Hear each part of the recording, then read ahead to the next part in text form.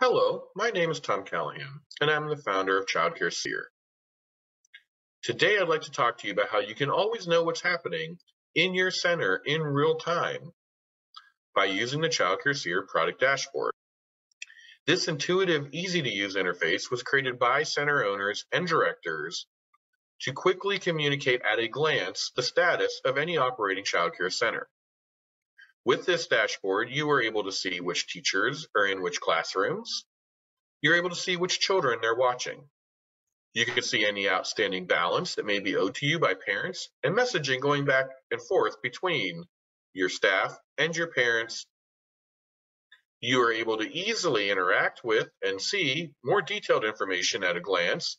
So for example, with Ronnie, his contacts, who his family is, what money he may owe, and what his schedule will be for the week.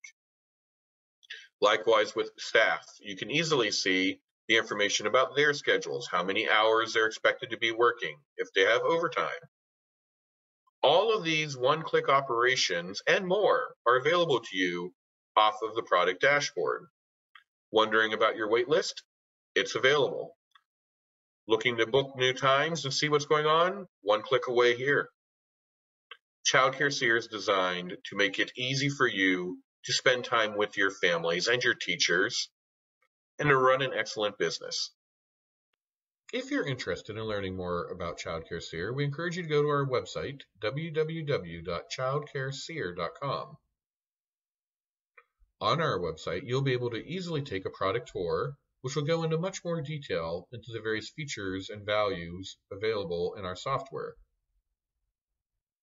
We also strongly encourage you to start a free version immediately.